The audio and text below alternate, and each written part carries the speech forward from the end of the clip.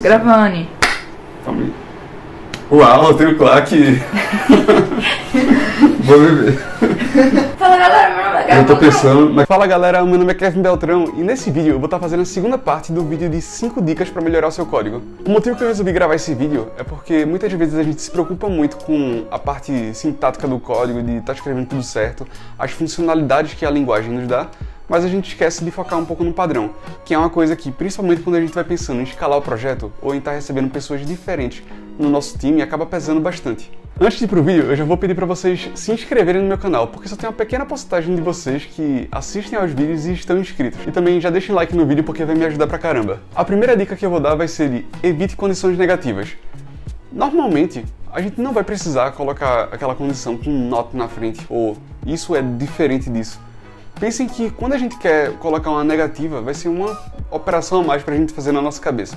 É uma coisa a mais para a gente se confundir. Obviamente a gente não precisa estar tá seguindo essa dica tão arrisca assim e banir para sempre qualquer negativa incondicional. Apesar de ser uma coisa para a gente evitar, vão ter alguns casos que vão fazer sentido. Por exemplo, se eu tiver uma condição que se não ela, eu não preciso executar o código todo da função. A segunda dica que eu vou dar vai ser evite comentários. Essa é uma dica um pouco controversa porque a gente escuta muito quando a gente começa a aprender a programar, comente seu código. É isso que vai deixar ele legível. Mas na verdade, assim como o Clean Code aponta, você tem que tentar se expressar por meio de código. Sempre que você pensar, quero colocar um comentário aqui para conseguir explicar o que essa função faz, pense, será que não dá para eu mudar o nome dessa função? No último vídeo de 5 dicas, eu acabei dando a dica para vocês de usar nomes intuitivos para variáveis. E aí você colocar um nome de função, por exemplo, como um verbo, pode ser uma coisa que vai indicar melhor a ação que ela vai estar executando do que alguns outros nomes. Eu já encontrei código que cada função tinha nome de evento. Então, tinha uma função chamada onClick, outra chamada onSubmit. E era tudo assim. E além disso, cada uma tinha um comentário em cima que era handles click, que é lida com o click. A outra era lida com o submit eu consegui extrair alguma coisa a mais de informação do que o nome já me dava? Não. O nome estava bom, eu sei agora o que essa função faz? Também não. Então, no final das contas, nomes ruins e os comentários piores ainda. Assim como na primeira dica, a gente não precisa ser tão radical assim e banir comentários para sempre. Mas, se esforcem bastante para toda vez que tiver a vontade de comentar alguma coisa, dá para deixar o código mais intuitivo, dá para criar uma variável ao invés de estar botando comentário. E também, importante, eu sei que dá muita vontade de mandar aquele código comentado para o GitHub quando a gente acha que não vai mais precisar dele, mas deletem ele. Principalmente se você está usando o GitHub, você vai ter ele no histórico de commits, vai poder ver nas versões antigas. Então, se você vier a precisar dele, é fácil de achar. Boa. É nóis. A terceira dica que eu vou dar é seja consistente.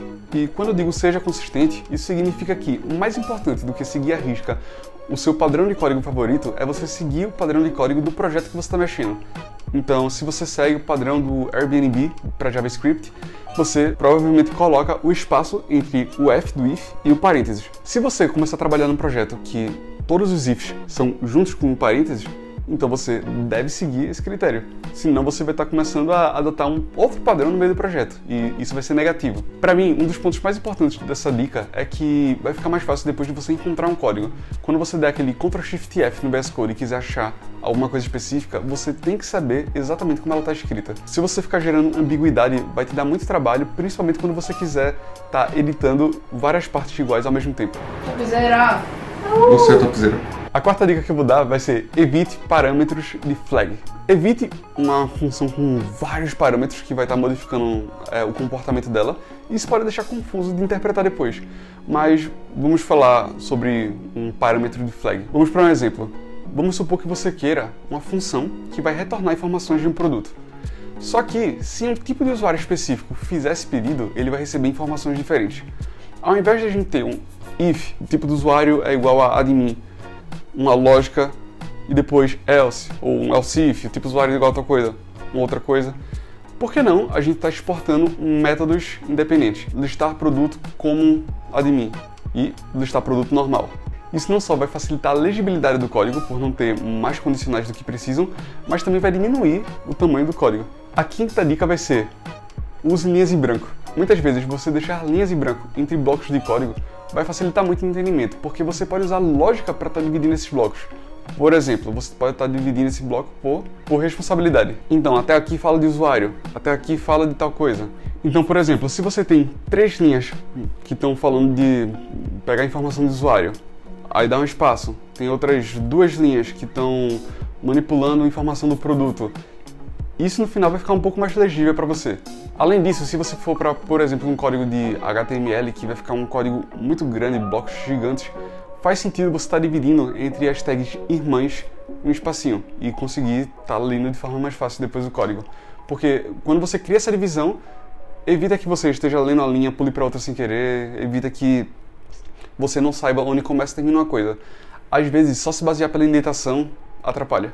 Para dar mais dois exemplos, um deles é quando você vai importar módulos, então faz sentido você estar tá separando é, com alguma lógica. Então, por exemplo, primeiro os imports do Node Modules, aí você quebra a linha, os imports locais, até às vezes em relação ao nível. Nesse bloco são os arquivos que eu estou importando no mesmo nível do diretório. Aqui é quando a gente já vai para ponto ponto barra, aqui ponto ponto barra ponto ponto barra. E aí, principalmente se você tiver muitos imports, vai facilitar. Com CSS que é quando a gente vai é, estilizar demais alguma classe e aí dá pra gente estar tá colocando, por exemplo, as linhas juntas de alinhamento do elemento. Embaixo em relação à fonte, então a cor da fonte, o tamanho da fonte e assim diante. Então é isso pessoal, espero que vocês tenham gostado do vídeo, deixem like no vídeo, é, se inscrevam no canal me sigam no Instagram, esse aqui é o meu login em todo lugar, Instagram, Twitter. Esse QR Code aqui dá no meu site, só que o link dele também tá na descrição. Sigam Débora, minha namorada, que tá me ajudando nesse vídeo. Uhul! Obrigado pela audiência e até o próximo vídeo.